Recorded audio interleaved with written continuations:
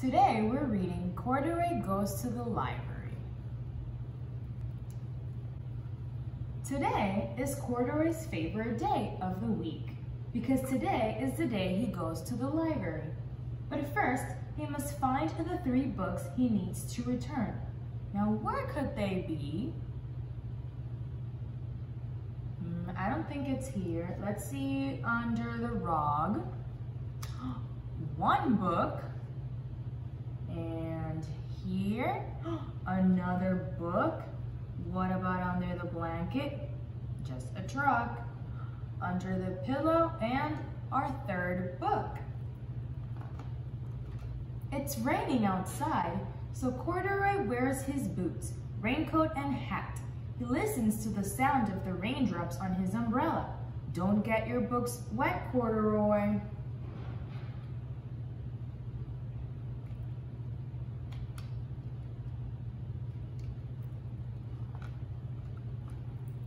Corduroy returns the books he borrowed.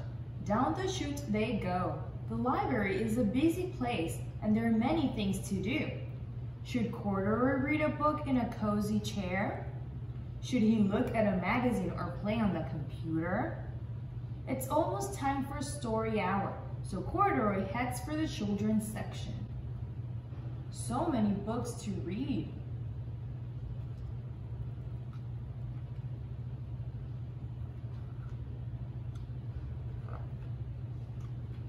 Today, the librarian is reading books about farms.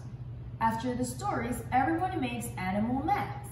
Corduroy pretends to be a cow. Moo, moo. Next week, we'll play a game called Who Am I? Says the librarian. Come dressed as your favorite character from a book. Everyone will try to guess who you are. We have a cow, a lamb, a duck, and a chicken. Before Corduroy goes back home, he wants to pick some new books to take. There are so many to choose from. Finally, Corduroy finds three books he likes. He takes them to the librarian and gives her his library card. She stamps the book with the date they're due back. Good choices, Corduroy. All week long, Corduroy and his friends work on their book character costumes. Who do you think Corduroy will be?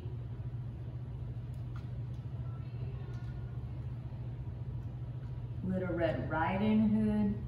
We have a basket here, a picnic one. Finally, it's library day again. Can you guess who Corduroy is? Who do you think Corduroy is? The end. I hope you enjoyed.